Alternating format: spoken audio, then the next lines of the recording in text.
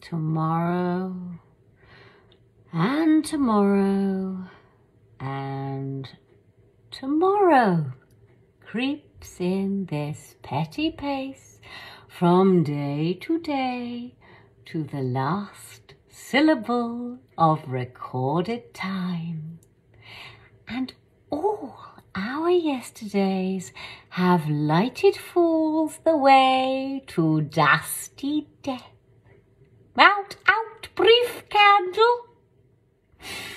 Life's but a walking shadow, a poor player that struts and frets his hour upon the stage and then is heard no more.